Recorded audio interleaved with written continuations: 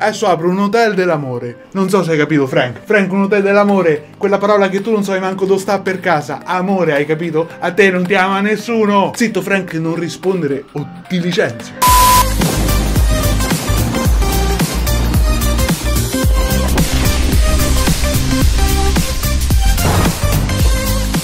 Salve! Mi puoi mettere a fuoco telecamera, grazie. Lo rifaccio. Salve! Questo è Electric. Oggi siamo qui per parlare di una cosa molto importante, tante cose molto importanti, importanti per la vostra esistenza, per il vostro sapere, per la vostra conoscenza, per elevare il vostro livello culturale. Quanto sapete sui tricicli? Tanto o poco, non mi interessa. Non è questo il punto. Oggi parliamo di 15, forse 14 perché non ne ho trovate altre, cose assurde giapponesi. Brrr! Fatto un po' di ricerca per questo video, quindi adesso iniziamo subito, eh, su cose davvero assurde che mi potevano colpire e colpire quindi anche voi, che succedono e che trovate solo in Giappone. Io personalmente sto mettendo da parte i soldini perché un giorno tocca che ci vado, o la prossima volta che ci vanno i mates mi imbuco, porca miseria, che Vegas ne sa tanto del Giappone e tocca che mi spiega cose. eh. Iniziamo dal numero 1, anzi 15, facciamo retrocessione, no? All'indietro, non è una top, forse la chiamo top, così un po' clickbait. Top 10 cose assurde sul Giappone. Oh,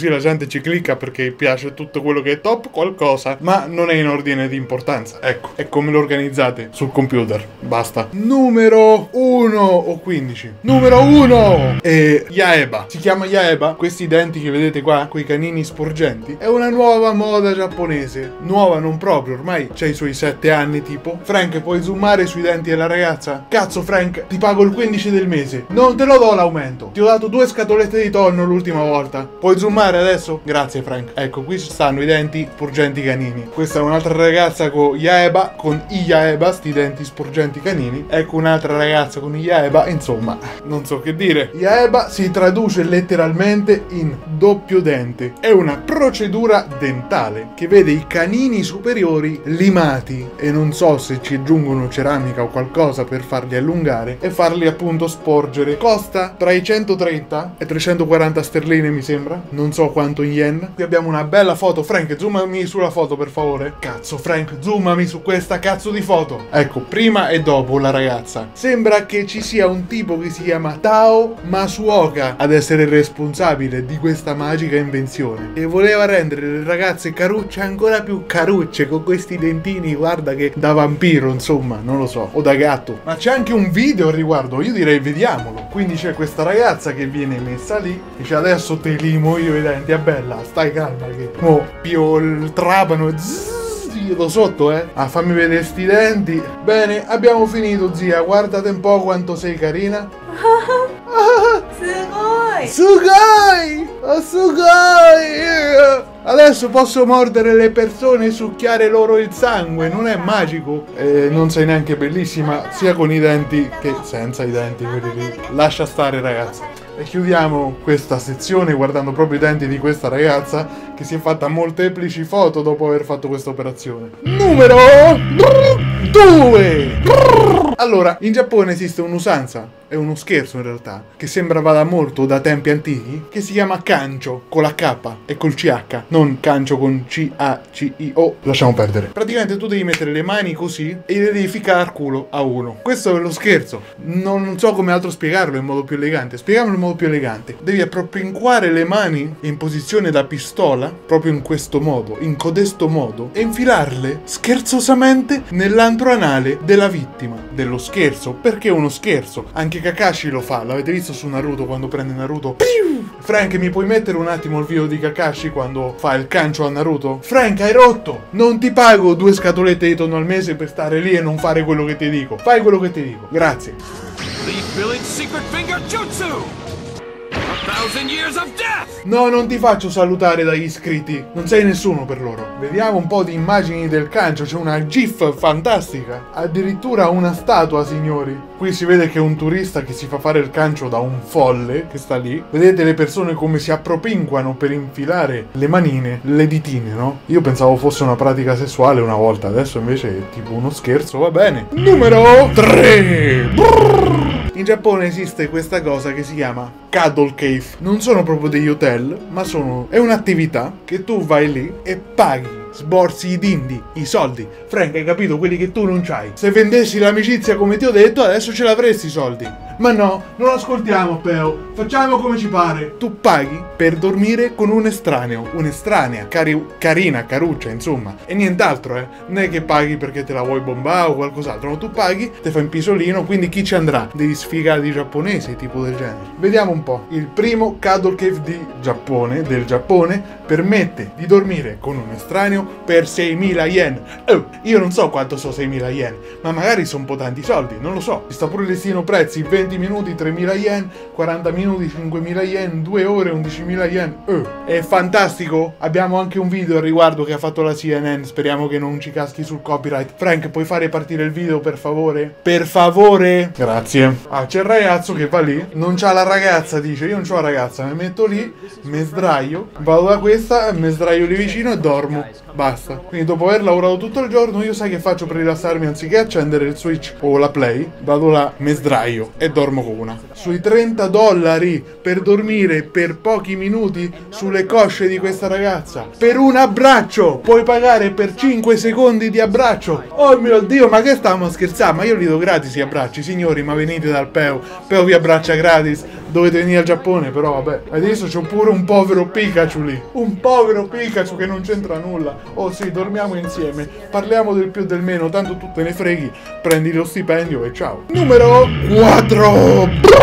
Lo sapevate che non molto tempo or sono, tipo nel 2011, dalle scuole giapponesi, non so tutte, ma forse la maggior parte, sono stati eliminati inservienti, il cosiddetto personale ATA. Sai, i bidelli che noi abbiamo, che li famo sempre arrabbiare perché c'è sta quello che va a fumare in bagno, c'è sta quello che sporca, dice oh e li trattate male perché è così, ammettetelo. Beh, questi qua sono stati proprio eliminati dal Giappone per un motivo economico all'inizio, ma anche per dare più disciplina ai ragazzi, far pulire loro la scuola, che addirittura prendono una piccola paghetta per fare questo lavoro. E abbiamo un video anche in questo caso. Frank, fai partire il video dei bambini che puliscono, per favore. Guardate come puliscono proprio come gli anime, cioè non usano lo straccio come noi esseri normali, devono per forza gattonare, correre, fare smorfie alla telecamera. Eh, peace and love, una telecamera, anch'io voglio apparire. E quell'altro che sta pulendo, sì. Oh, anch'io voglio apparire. E, e stanno lì e puliscono. Che è come non è un'usanza tanto lontana. Cioè, nel 2011 io penso che sia nata prima, perché mi ricordo anche in manga e anime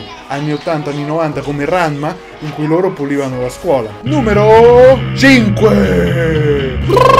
Tempo or sono, ma giusto fino a un secolo fa, era un'usanza interessante direi per una donna giapponese annerire completamente, pitturarsi completamente di nero i denti, no? I denti, tutti neri, perché era considerato un tratto di bellezza. Io direi più un tratto di Satana o qualche demone infernale, perché se mi arriva una con i denti neri, boh, io scappo. Che devo dire? Mi sorride. Ciao, come stai? Ciao, quanto sei carina? Sorride. Ciao. Frank, mettimi la foto della signora qua con i denti tutti neri perché guarda, questa è la signora, vediamo altre foto. Questa è la foto di un libro con quella che ha i denti neri, altri denti neri, io non capisco dove sia il tratto di bellezza, ma vabbè, cultura, sai com'è? Si sta annerendo i denti proprio con non so, una matita, un pennello. Boh, eh, non lo so, non so che dire. Numero 6 allora, in Giappone fare il pisolino è considerato un atto di diligenza, di, di, onore, no, non lo so. Però insomma vuol dire implicitamente che tu sei un grande lavoratore. Se tu ti addormenti qui sul posto del lavoro, beh, probabilmente ti cacciano calci in culo. O forse no, perché lo Stato ti protegge anche se fai cagare al lavoro e per quello non c'è il ricambio del lavoro e ci sono degli netti deficienti che prendono dei posti di lavoro validi non sapendo fare il loro lavoro e rimangono lì inchiviati a vita, ma questo è un'altra cosa. Siccome in Giappone la vita lavorativa spacca i culi. Lì davvero ti spremono come se fossi una banana. Non so che altra metafora usare perché mi è venuta solo questa. E non so perché dovresti spremere una banana. A parte questo, quando qualcuno si addormenta in pubblico, alla metro, al lavoro, è considerato una cosa bella. Qui c'è un signore che dorme sul giardino, come potete vedere, sta buono lì. Questo proprio davanti al computer è crollato. È morto lì proprio. Boh, qui quasi tutto l'ufficio si fa il pisolino veloce. C'è solo uno che è rimasto sveglio. Passiamo al numero. Dove siamo arrivati? Ah sì. 7! Passiamo alla pratica del ganguro o ganguro, non so come si pronunci, ma in poche parole sembra essere una cosa figa e eh, non so se accettabile o meno, scurirsi la pelle in modo assurdo assurdo in Giappone e usare un make-up assai pesante. Io l'ho visto nei manga e negli anime, ma non pensavo lo facessero anche le persone. Invece sì, e guardiamo quante immagini a proposito. Frank, mettile qua per favore. Una ragazza ganguro, vedete che si, si è scurita completamente, make-up ultra pesante. Penso che sia un tipo di oscurimento della pelle falso, fittizio. Sai, quelle cose spalmabili, quella bronzatura falsa, non che ha preso tanto sole. Non, non- penso che una giapponese può diventare così scura. Ecco, qui ne abbiamo un altro bel esempio, estremamente esagerato. Altre ragazze ganguro per voi, o ganguro, o canguro, perché saltano?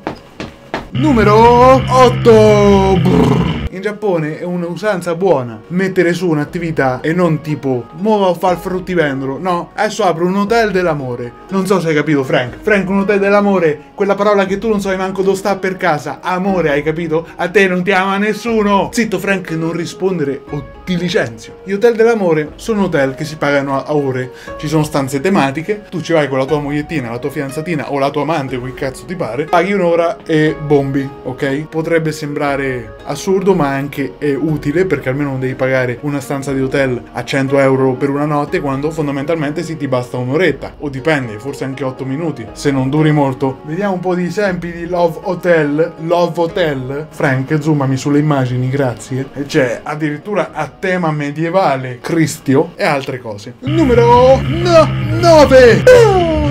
Il 98%, oh, 98, mica ciaspole, 98% di tutte le adozioni giapponesi sono fatte da adulti per adulti. Cioè, io non adotto un bambino perché mia moglie eh, non gliela fa cacciarlo fuori il monello, c'ha i problemi, o io sono, ho i problemi, i miei spermatozoi non sono così potenti, insomma, ho problemi, ma lo adotto tipo già tra i 20 e i 30 anni. Perché, direte voi? È un motivo economico, sappiate. Se io non ho qualcuno che prende in mano, un mio successore che prende in mano la mia azienda, eh, non ce l'ho perché sono sfigato, sono brutto e quindi non bombo, e non faccio figli, o ho problemi appunto nella parte bassa, allora adotto uno. Ci sono addirittura agenzie che fanno i colloqui per le persone da adottare, cioè è come, è come un lavoro. Che lavoro, che lavoro vuoi fare da grande, Frank? Eh, voglio fare il bambino adottato, tra i 20 e i 30 anni però. Cioè, Vabbè, la stessa Toyota mi sembra che sia quattro generazioni che va avanti così, adottando il successore. L'azienda adotta un bambino adulto. Grande. Numero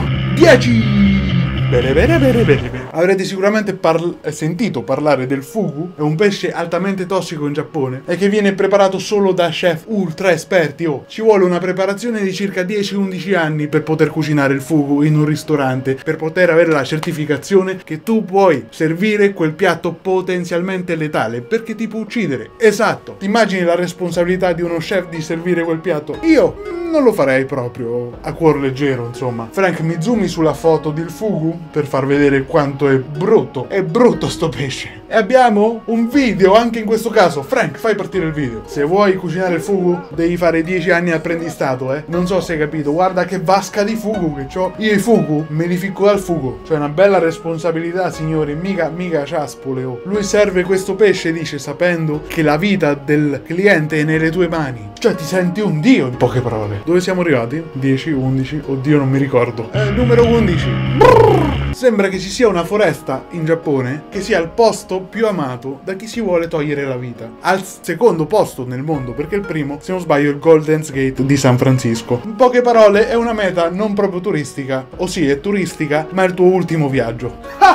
Oh, dark humor. In particolare, dopo la pubblicazione di un dato romanzo, si chiama Kuroi Jukai, in cui tipo un innamorato va lì, si toglie la vita, da quel momento circa 100 persone l'anno, 100 persone l'anno vanno lì e si ammazzano. E sai chi ci fa i soldi in questa faccenda? La Yakuza, perché la Yakuza va lì e ripulisce i corpi, capito? È una foresta così fitta che la polizia non ci pensa nemmeno a ripulirla, va a morire qualcuno, ma va a morire ammazzato, gli dice, letteralmente. E lasciano perdere. Ti rendi conto? Ti rendi conto? Qui se si ammazza una persona la cercano per tre mesi. Non lo so, forse sì, forse no. Numero 12.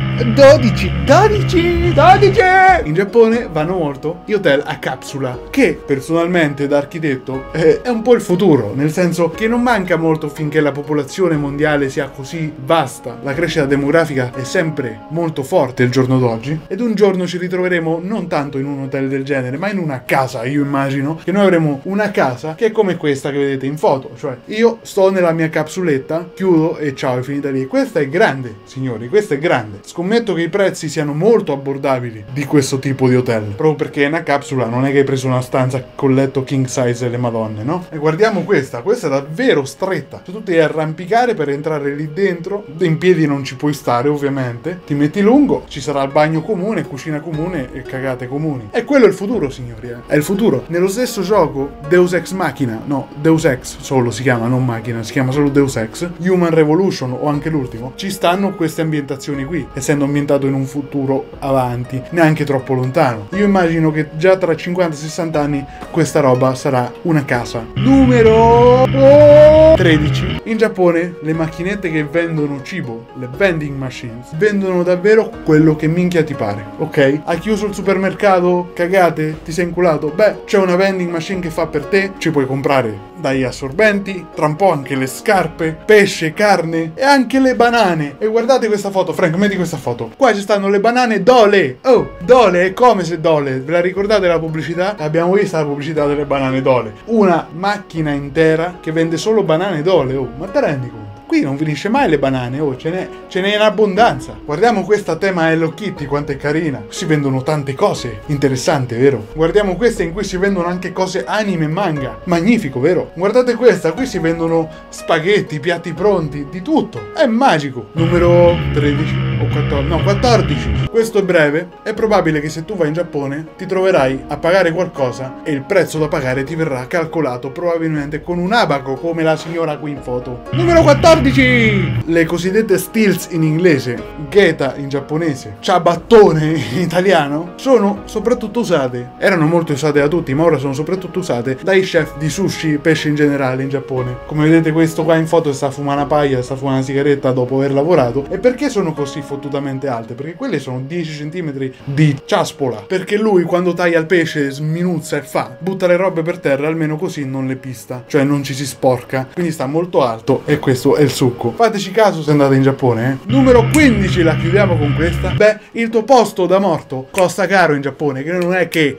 oh, sei morto e ti aspetta lì, la tua tomba è tua, ciao bella. No, no, tu paghi l'affitto, come ogni persona viva, cioè morta in realtà, sì. Paga la tua famiglia. O se no hai pagato prima di morire. Non mi interessa, perché se no ti ritrovi con un avviso come in foto di sfratto, che qua c'è chi paga, eh, e potrebbe prendere il tuo posto qui. Non so se hai capito, eh. In poche parole, il cimitero costa il posto morte, tipo il posto letto morte, il posto letto eterno, bella questa, costa, hai capito? Quindi metti a parte i soldini per quando sarai morto. E questo è quanto per questo magnifico video, spero che vi siate divertiti. Se così è stato, beh, non scordate di mostrare un bel po' di amore al pulsante qui sotto a forma di pollice in su. Fatemi sapere se volete altri video del genere, di qualcos'altro. E ricordatevi che questo qua, questo uomo qua, minchia zio, questo uomo qua è electric.